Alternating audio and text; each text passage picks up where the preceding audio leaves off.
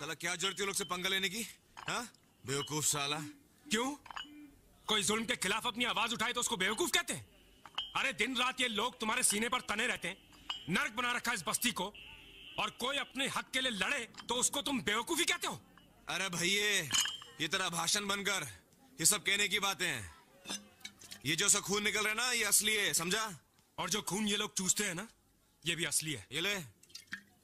लड़ेंगे तो खून बहेगा। नहीं लड़ेंगे तो ये लोग खून चूस लेंगे। अरे लड़के तो कम से कम अपनी नज़रों में अपनी इज़्ज़त तो बची रहेगी। अरे जब बदन का सारा हड्डी टूट जाएगा ना तो इज़्ज़त का क्या करेगा तू? चटनी में डाल के खाएगा? हड्डी तो टूटकर फिर भी जुड़ जाती है। लेकिन आदमी की इज़्ज़त उसका आत्मसम्मान एक बार टूट जाना तो फिर कभी नहीं जुड़ता। फिर साला आत्मसम्मान। अरे तू कौन सी दुनिया का आदमी है यार? मैं इसी दुनिया का आदमी हूँ। मेरा नाम हरी है सिद्धार्थ वो लोग तुम्हें जान से मार देंगे सिद्धार्थ सिद्धार्थ मेरी बात सुनो। सिद्धार्थ सिद्धार्थ सिद्धार्थ अगर तुम भाग गए तो रौनक सिंह तुम्हें मार देगा। और कहेगा उसे अपनी हिफाजत के लिए तुम्हें मारना पड़ा। और वो छूट जाएगा। तुम जय की मौत का बदला लेना चाहते हो ना? तुम हरी की मौत का बदला लेना चाहते हो ना? तो कल अदालत में उनकी मौत का बदला लो। वही एक तरीका है उसे खत्म करने का। सिद्धार्थ, तुम्हें हरी का अधूरा काम खत्म करना है। उसकी मौत जाया मत जाने दो। जय की मौत जाया मत जाने दो। प्लीज़ सिद्धार्थ, प्लीज़, तुम्हें ये करना है। प्लीज़।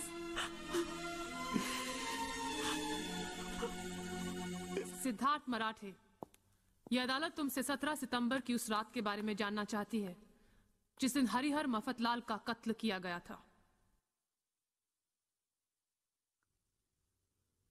वो दिन रात को रौनक सिंह अपने खोली के नीचे आया। अपना भाई जय भी उसके साथ था। वो अपन को बोला कि, हरी से कुछ बात करने का है।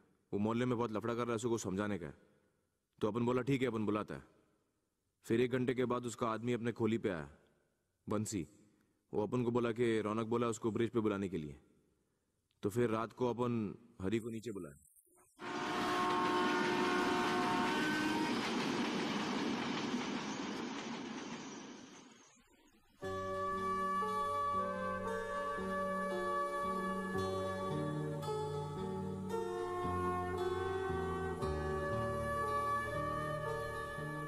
फिर इससे पहले कि अपन कुछ करता, रौनक सिंह ने उसको ब्रिज पर से फेंक दिया। अपन भाग के नीचे देखा तो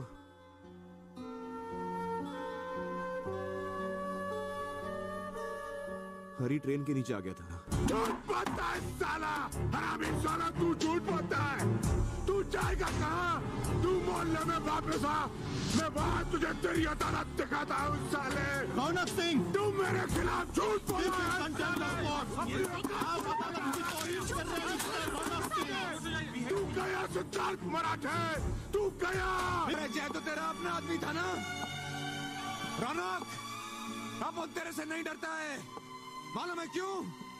क्योंकि तो सिर्फ़ एक मामूली गुंडा है। बुजदिल है तू, बुजदिल। साला जिगरा होता तो अकेले खड़ा होता। ये चमचों को लेकर नहीं घूमता तू। कायर है तू, सुना तूने कायर। और तेरी असलियत आज अब उन सबके सामने खोल के रख डालेगा। नंगा कर देगा तेरे को, नंगा। ये मोहल्ला बंद किया ना तूने? आज अपन तेरे सामने ये सारी दुकानें खोल के रख देगा। तू रोक सके तो रोक।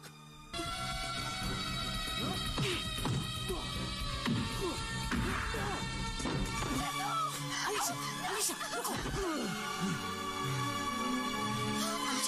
रुको उसे लड़ने दो। ये उसकी खुद की लड़ाई है उसे लड़ने दो।